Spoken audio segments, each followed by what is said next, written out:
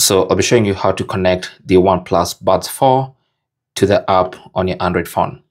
So once you've paired them via Bluetooth, the next thing you want to do is go to the Google Play Store, search for the OnePlus Buds app. Now the app is called Hey Melody. So just go to the search function and look for the Hey Melody app, which is the official app for OnePlus earbuds.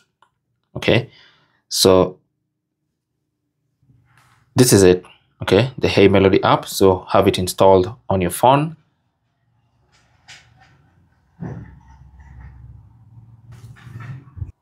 And with the app installed, just launch it.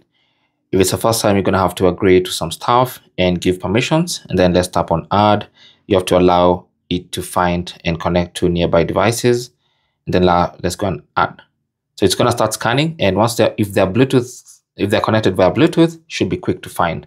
So just tap on connect and there you go. There's the app for your OnePlus Buds 4, right? So this is where you can tweak settings and do extra things with your earbuds. Thanks for watching and good luck.